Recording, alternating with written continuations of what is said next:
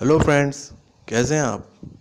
तो आज के इस वीडियो में हम एंड्रॉयड के लेटेस्ट वर्ज़न यानी कि एंड्रॉयड ओरियो के कुछ ख़ास फीचर्स के बारे में बताएँगे आपको।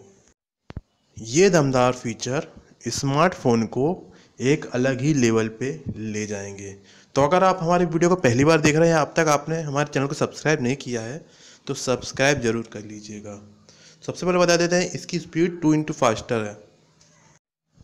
यानी कि जब आप आपके मोबाइल को स्टार्ट करेंगे या फिर आप किसी भी ऐप को ओपन करेंगे तो ये डबल स्पीड पे ओपन होगा, जिससे कि आपके ऐप जल्दी खुल जाएँगे।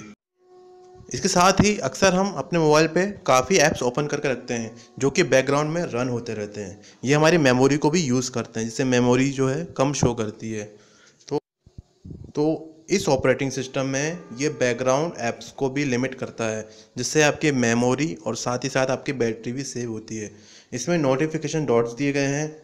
ये नोटिफिकेशन डॉट्स जो हैं, आपको मोबाइल के अप साइड में मिलेंगे, जिससे आप अपने जो एक्टिविटी है उसको स्वाइप करके क्लीन कर सकते हैं।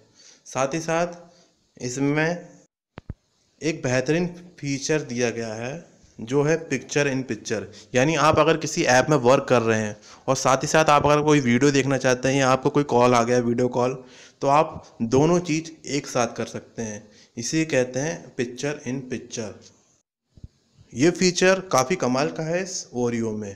साथ ही साथ इसमें एक फ़ीचर दिया गया है ऑटोफिल जो कि अक्सर मोबाइल में रहता है, लेकिन इसमें जो है सुपरसोनिक स्पीड से ऑटोफिल करेगा।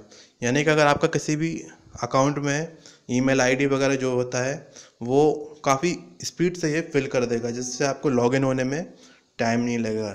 साथ ही साथ इसमें नए तरीके से इमोजी दिए गए हैं और साथ ही साथ इसमें साठ नए इमोजी भी इंक्लूड किए गए हैं, जो कि काफ़ी अच्छे दिख रहे हैं।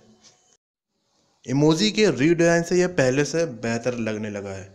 तो अगर आपको ये वीडियो पसंद आया है तो इसे लाइक कीजिए हमारे चैनल को सब्सक्राइब करना ना भूलिए और अपने दोस्तों के साथ इस वीडियो को ज़्यादा से ज़्यादा शेयर कीजिए। धन्यवाद।